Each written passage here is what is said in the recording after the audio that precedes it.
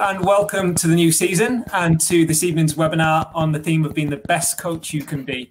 Thank you so much for, for joining us and giving us time tonight. Uh, we are really looking forward to spending the next hour or so doing one of our favourite things, which is discussing football and coaching. Um, you know, think back to your childhood. What are the characteristics that kind of you associate with some of the, the coaches that you had that you know really favourable when you, when you think back? Yeah, I think I'm going to have to have a very lo- uh, long look back at this one, Ryan. I think I'm going back into the Not into the stone into the Stone Ages. The, the, the thing about um, any coach, I think, and the coaches that that I were my favourite were the ones who um, who always taught you something, who always who engaged with you. Um, I, I, I, can remember my earliest uh, um, uh, coach when I was must have been about must have been about ten, and he just made it fun that's all he did. He just made it fun all the time. You know, he, he would make games up. I, he was. I don't even think he was a. I don't even think he was a qualified coach. He was a teacher. He made he made everything fun. You know, and he engaged us in not just football, but lots of other activities. You know, I think about some of the other characteristics, and you know, th- this particular coach um, and teacher was, you know, very approachable as well. Mm. You know, felt, you know, I felt like, you know, if I had a problem, they'd they'd be the person I could go to and, and speak to, and they were really really approachable. Um, you know, kind, considerate, made me feel valued and, mm. and important, if that makes sense as well. And mm. I think something else, and you know, one of one of my grassroots coaches as well. Um, something that they did and is is give me opportunities to have like leadership roles. Mm, yeah. Team, but all of us to, to have these leadership roles. And, you know, I think we don't necessarily always associate you know the, the, the, coaches who can give us the best technical and tactical knowledge, but the ones who give us opportunities to develop as a person as well, doesn't it?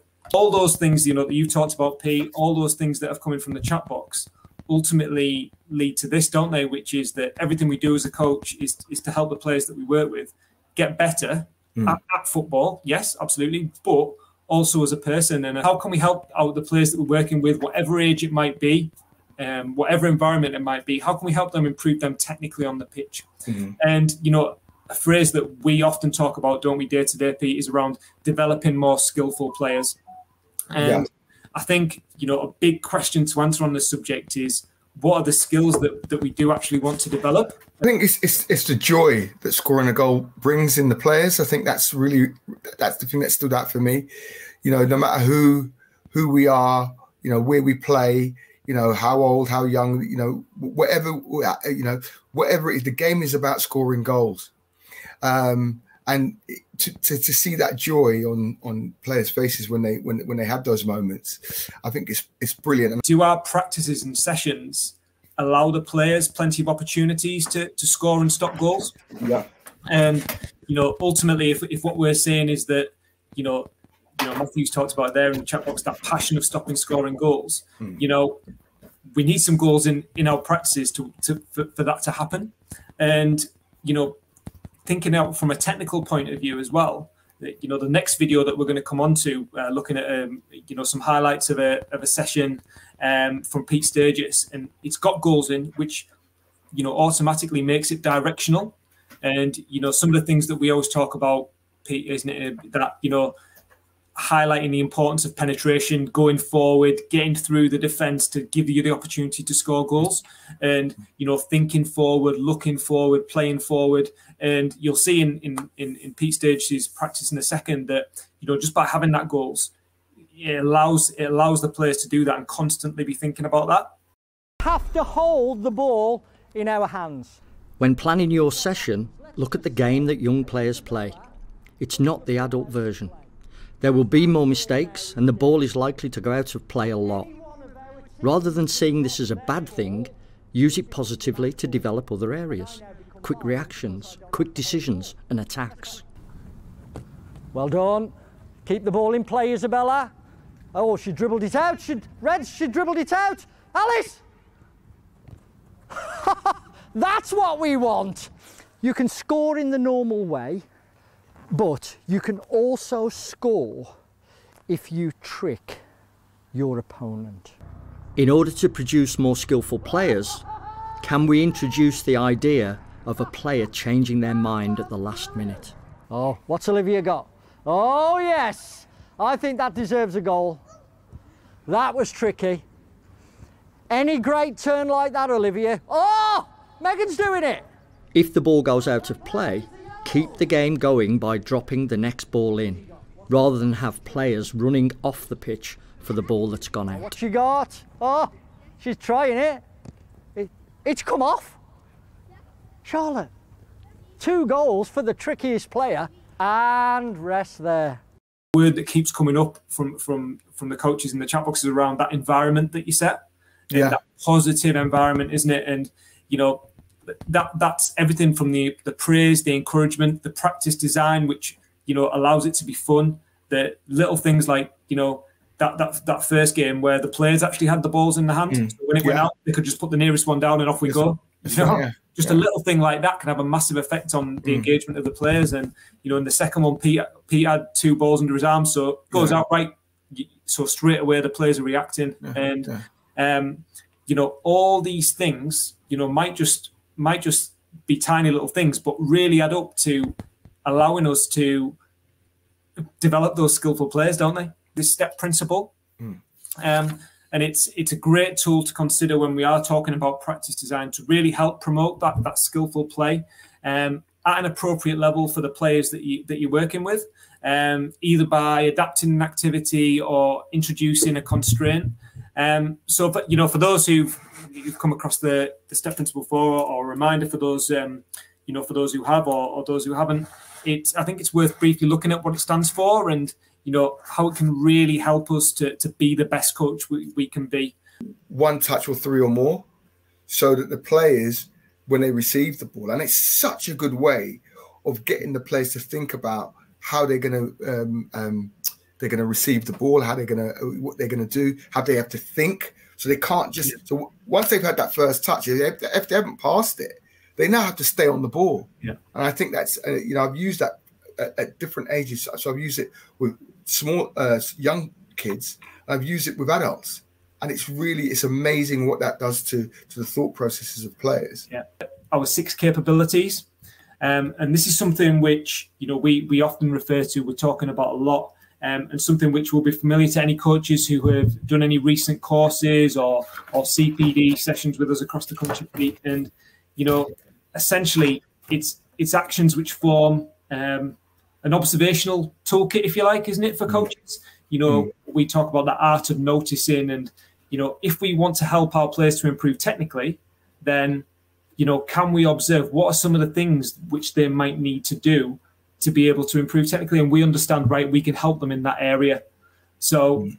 you know, for example, it might be around that if we look at those six capabilities, someone might be great at, um, you know, technically receiving the ball, mm. but they might not be aware in terms of where the scanning, you know, in terms of the scanning, but aware of what's going on around them. I think by using these six capabilities, we can, you know, really help our players to develop in that in those skillful environments, can't we?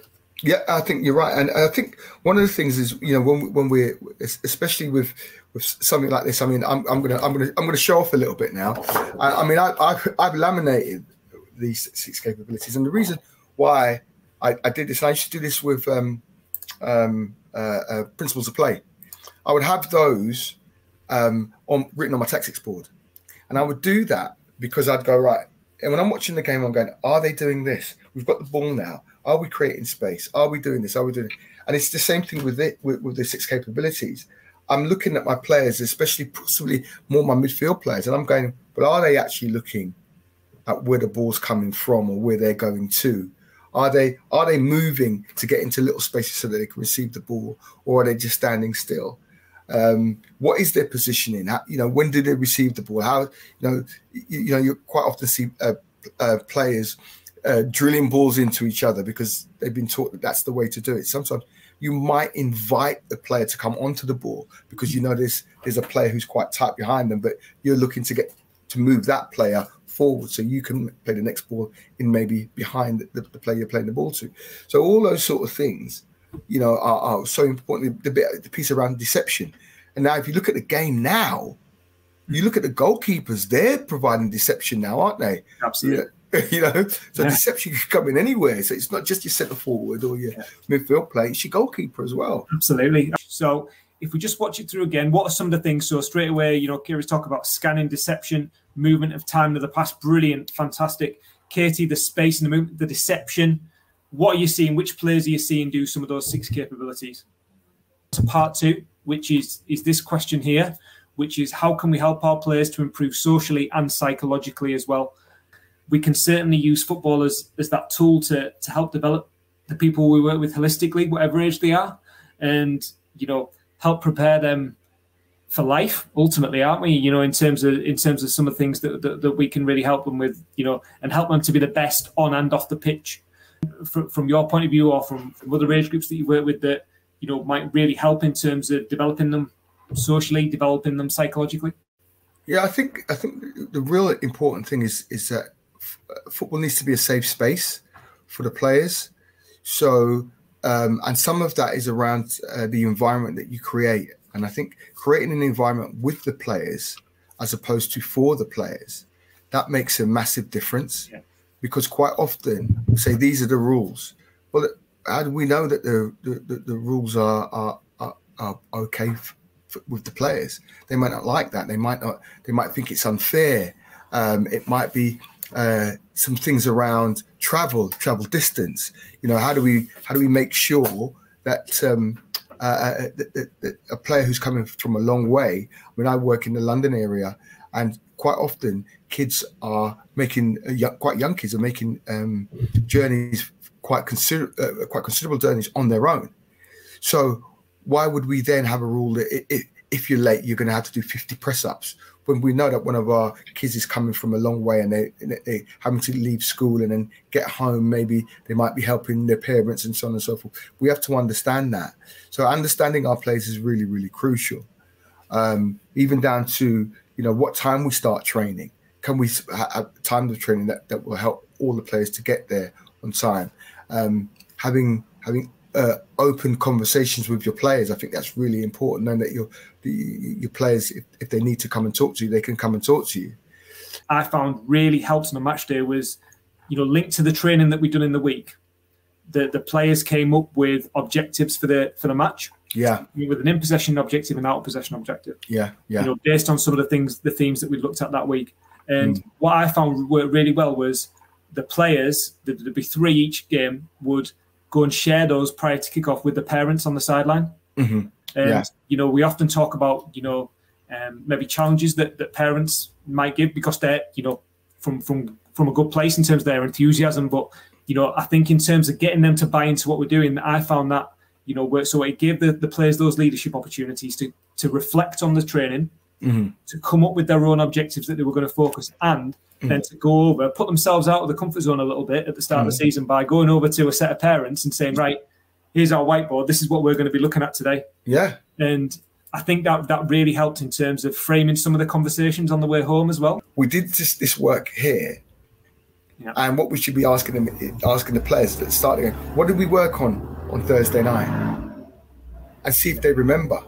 Absolutely. Absolutely. And if, they haven't, have we taught it well enough? Mm. That's kind of the things we've got to kind of think about. We, you know, they're there. We've got to think about ourselves. Are we giving the, the, the best advice that we can be and shaping the, the, learning in the best way for the players? Don't underestimate our players in mm. terms of what they're capable of. Yeah. You know, how many times the coach do we right? We're doing it this way. This is out of the practice runs, and give them the opportunity to to coach games. You know, again, just a, just a little story. I, you know, I was doing some stuff. Um, we as a PE team, um, we're doing some stuff within within a primary school just before the summer holidays, mm. um, and we actually, we literally just put loads of equipment on the playground. Mm. We stepped back and just said, right, off you go. And these were like reception children, year ones, year mm. twos, you know, five, six, seven years old and they were coming up with games and we were pinching them, we were writing them down. do you know what I mean? And these are these are five year olds because they've got that capability. They didn't need us there. They, they came up yeah. with their own games. They were playing yeah. all different types of games using different equipment. And yeah. you know, I think that's probably something really valuable to consider, isn't it? That don't underestimate what, what they're actually capable of. One practice design that um, I, I, I've used, which has been you know really useful for me in terms of developing some of those technical skills, but also in terms of allowing the players to make decision as well and scaffolding it in terms of making it appropriate for whichever group that I might be working with at the moment. So, um, really simple concept. So we've got two end zones, if you like, that you can see marked out on the pitch, um, shaded in, and we've got uh, four teams.